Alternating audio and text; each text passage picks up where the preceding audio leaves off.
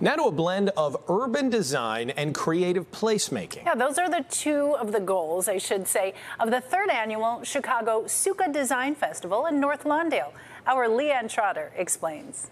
The James Stone Freedom Square on West Douglas Boulevard is full of colorful structures known as sukkahs, small outdoor pavilions built for the Jewish holiday of Sukkot.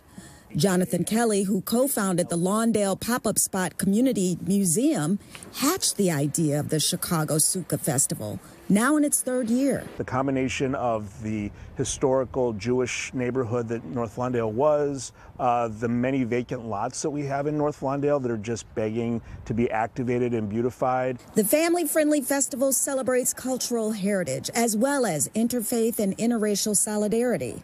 Organizers paired community organizations with architects to design and construct the sukkahs. It brings a diverse group of communities together between art, architecture, community organizing.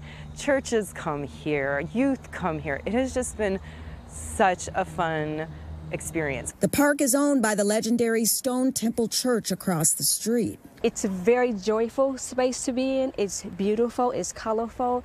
It brings vibrancy to this community and it reminds me of what freedom looks like. This has now become a destination for people to come and rest and pause, feel welcome, feel um, like they can sit down and enjoy the projects, enjoy the scenery, enjoy the context um, that is North Lawndale. There is also plenty of programming during the Chicago Sukkah Festival. We've had so many top talented individuals who who not only reflect, you know, uh, the best of our cultural heritage, but also can collaborate together. Check the schedule for upcoming programming.